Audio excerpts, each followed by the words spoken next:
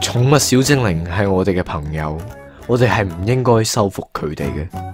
唔係啊，我冇收服佢哋，佢有個老婆。老公，佢係邊個嚟噶？誒，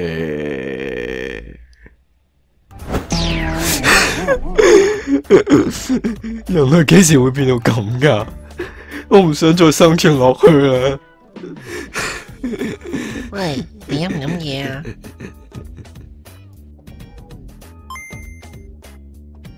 大家好，呢度有 Epic Crimson 喺度介紹 Pokemon Go。今日呢，就喺度介紹我嘅老婆。哎呀，唔係唔係唔係唔系，我係話沙奈朵啫。我同佢嘅關係就係訓練員同精靈咁單純嘅啫。但係沙奈朵嘅圖鑑描述就真係幾浪漫嘅。據說喺使用預知未來嘅能力，察覺到訓練家有危險嘅時候，就會使出最強嘅精神能量，拼命保護訓練家。咁啊，就一於睇下呢個沙奈朵有幾強啦。沙奈朵喺現時遊戲係屬於最強嘅仙子屬性。咁佢嘅仙子屬性有咩用途呢？咁啊，由呢個屬性講起啦。咁啊，沙奈朵屬於呢個超能仙子屬性。咁啊，視乎佢嘅技能啦。咁啊，佢可以專門對付格鬥、毒、龍同埋暗屬性。咁啊，喺抗性方面咯。咁啊，佢淨係驚降、毒、幽靈系。而呢，佢呢就對於呢一個超能力呢有單倍嘅抗性，而對於龍同埋格鬥呢有雙重抗性添嘅。咁啊，本身超能對於重同暗嘅弱點呢，就俾呢個仙子呢中和咗。而超能屬性呢，亦都可以照顧到仙子屬性驚毒屬性嘅弱點。咁啊，其實呢，綜合起嚟嚟講呢，超能仙子屬性呢係一個相當之唔錯嘅一個配搭嘅。咁再且啦，一般玩家擁有嘅強力降毒幽靈精靈呢都比較少。咁沙奈朵又對於常用嘅格鬥係龍屬性同埋暗屬性係有呢個屬性優勢。咁對於啲唔係太識根據屬性而調整部隊嘅人呢，係一個威脅。咁當然啦，如果你識得用超夢夢、巨金怪、耿鬼或者係波士可多拉去打佢嘅話，咁樣佢嘅威脅都唔算係太大嘅。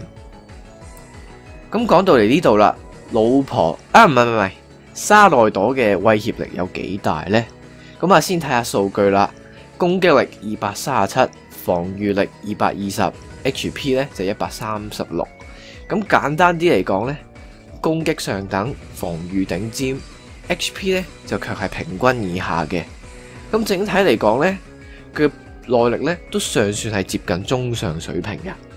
咁啊，睇嚟沙奈朵咧係真係有保護到佢嘅伴侶。誒、呃，我係話訓練員嘅能力。咁我哋再睇下技能啦。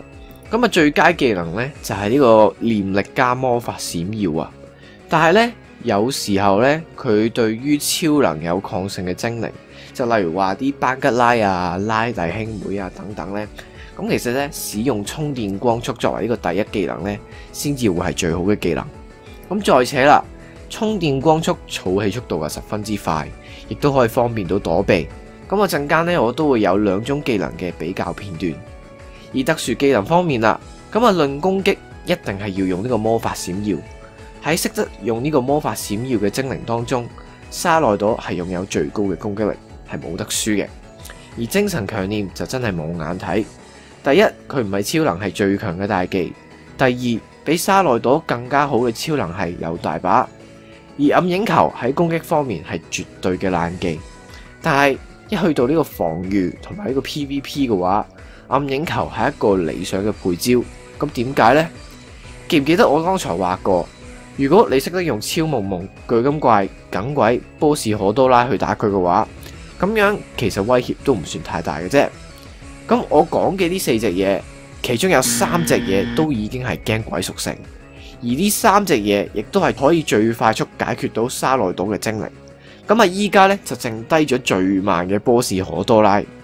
咁所以啊，如果你識得玩屬性，對付暗影球反而會比呢個魔法閃耀麻煩。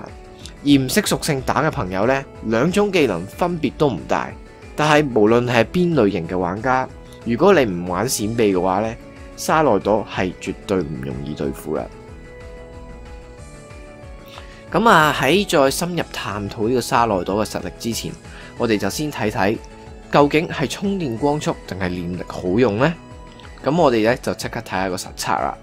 我嘅沙奈朵咧就係三十六點五 level，九啊六 IV，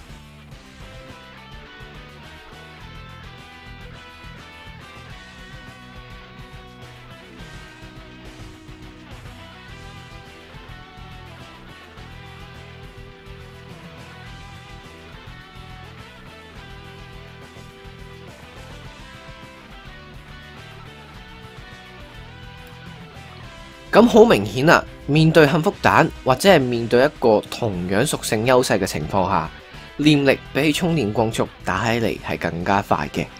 咁係咪代表念力一定比充電光速更加好呢？咁唔一定㗎喎。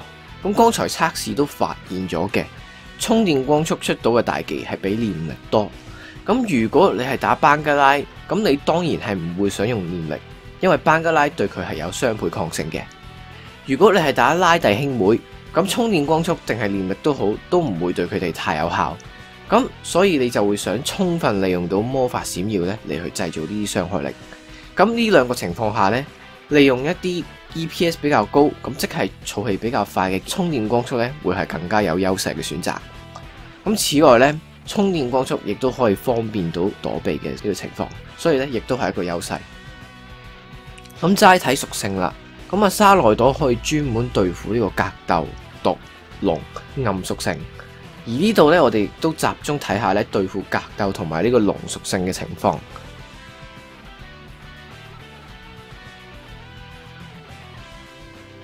咁從 DPS 排名呢，已經發現咗呢，沙奈朵已經係比前面嗰啲龍啊、冰屬性呢霸佔晒嘅。咁啊，要去到幾後下呢，先至會見到佢。咁我哋再睇下 TDO 嘅排名啦。哇，排第三喎，都唔錯啊！而轉換睇下呢個 DPS 乘以呢個 TDO 嘅綜合排名啦。咁啊，沙奈朵咧亦都排到第四喎。但係如果我哋睇下前面嘅急凍鳥呢，我哋就會發現咗呢，急凍鳥無論喺 DPS 定係 TDO 方面呢，佢所做出嘅平衡呢係更加好嘅。咁所以話呢，沙奈朵對付啟暴龍呢，絕對唔係一個最好嘅精靈嚟嘅。咁啊，DPS 排名咧，同樣地咧係俾好多龍屬性咧霸佔晒咁滯嘅。咁啊，沙奈朵咧就喺呢度，咁啊比上次咧冇咁後嘅。咁而喺 DPS 乘以 TDO 嘅綜合排名，哇，犀利喎！沙奈朵排正第一名喎。咁啊，而總輸出比佢更加好嘅，就只有 DPS 幾乎少咗一半嘅幸福蛋。咁啊，就算你用一隻精靈嚟去守尾啦。咁我相信有好多精靈係比幸福蛋更加好嘅。如果你真係到依家都用緊幸福蛋嘅話，除非你好愛幸福蛋，麻煩你檢討一下沙奈朵真係正好多。咁綜合而言啦，喺現時充滿龍加飛行屬性嘅情況下呢，沙奈朵唔單止係俾呢個 DPS 頂尖嘅龍屬性淹沒咗。仲要咧係佔呢啲冰屬性嘅底，咁當然啦，沙奈朵仍然係屬於好用嘅一批精靈，但系亦都唔屬於最強嘅一批精靈。咁面對冇双重弱點嘅龍屬性，沙奈朵會更加好用少少。咁啊，例如對付呢啲拉大兄妹啊、第四代嘅帕魯奇啊等等。咁整體嚟講呢，面對龍屬性嘅沙奈朵，穩穩陣陣正常人數嘅情況下呢，係極之好用噶。但係萬一遇到啲極端嘅情況，冇天氣加成嘅沙奈朵未必能夠幫助到你及時擊敗對手。而沙奈朵做唔到正室，誒唔係唔係唔系，我係話屠龍第一殺手嘅原因，咁係因為遊戲係冇呢個仙子屬性嘅快速技能，咁比起有完全屬性有效嘅龍屬性同埋冰屬性呢，係輸蝕咗嘅。咁啊，第二種情況就係面對呢個格鬥系，咁啊缺乏仙子屬性嘅快速技能呢，喺呢度呢就唔會係一個弱點。咁啊，因為呢有強力嘅念力呢補償翻。咁雖然呢，無論喺 DPS 定係 TDO 呢，沙奈朵都係完完全全不及超夢夢。但係如果你係同富迪日伊貝呢兩個平民啲嘅呢個選擇嚟比嘅話呢。咁儘管 DPS 都係低過佢哋少少啊，但係由於雙抗格鬥同埋更加好耐力嘅緣故，咁啊沙奈朵嘅總輸出呢係比佢哋兩個呢更加高噶。而喺陰天呢，沙奈朵呢係更加超越咗超夢夢，成為咗對付格鬥係最強嘅攻擊者。咁結論時間咯，咁沙奈朵到底有幾強呢？咁剛才我都講過嘅。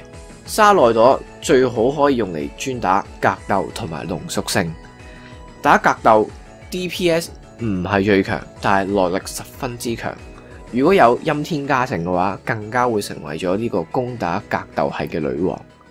而打龍方面，好可惜啊，因為缺乏仙子屬性嘅快速技能，沙奈朵嘅 DPS 唔算係十分之頂級，但係都未至於話好废嘅。咁對於耐力有要求嘅玩家嚟講，沙奈朵係十分之好用嘅，打得快而且捱得。而對於我嗰啲好似對於 DPS 比較有要求嘅玩家呢，沙奈朵呢就爭啲嘅。